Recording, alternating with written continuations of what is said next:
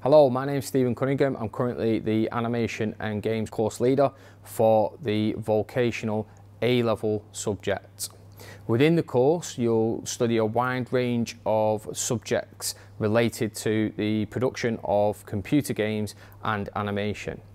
You'll start off by studying 2D skills which uh, bridge the traditional areas of art and design with digital skills uh, which are often seen more prevalent within the industry these days. From there, you'll then develop skills that allow you to take your designs and build them in 3D. So what I mean by that is you'll be able to build 3D environments or props that would typically be seen within an animation or game environment. You'll also get to use a variety of software and equipment that is industry standard and will help you progress on to university. Typically, students who pick this area to study would go on uh, to progress to HE for further study and to develop the skills.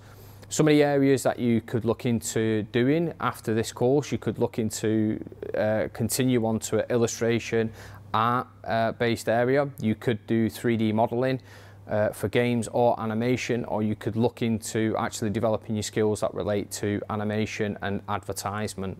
One of the benefits of doing the A-level version of this course is you'll be able to study two additional courses alongside it. This will broaden your skill base and skill range and you'll be able to develop a wider skill base giving you a greater selection of progression routes uh, should you continue on to uh, university.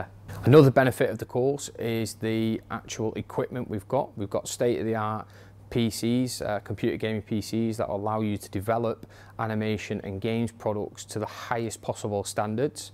The college relatively has smaller class sizes, meaning you get extra additional one-to-one -one support, so you'll have more time with a tutor in the lesson as opposed to other colleges. If you are interested in studying at the college and you're interested in this course, please don't hesitate to get in touch.